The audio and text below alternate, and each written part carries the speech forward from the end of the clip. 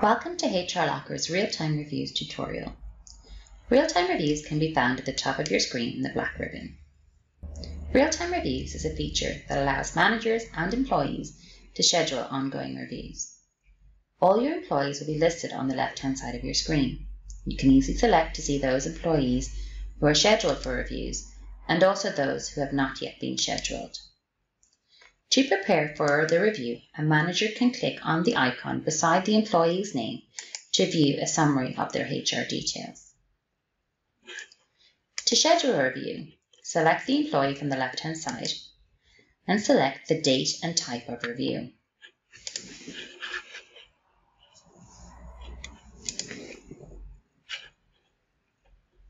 There are several options for a review type, annual, weekly, monthly, and also salary reviews.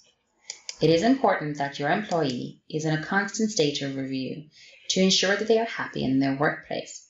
This minimizes any issues that may arise. Put in the start date and the duration and schedule the review. This will send an email to the employee to tell them that a review has been scheduled.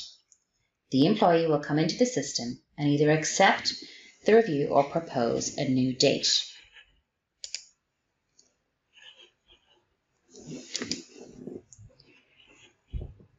On the right-hand side of the screen, the manager and the employee can record their review and the key points that need to be discussed during the session.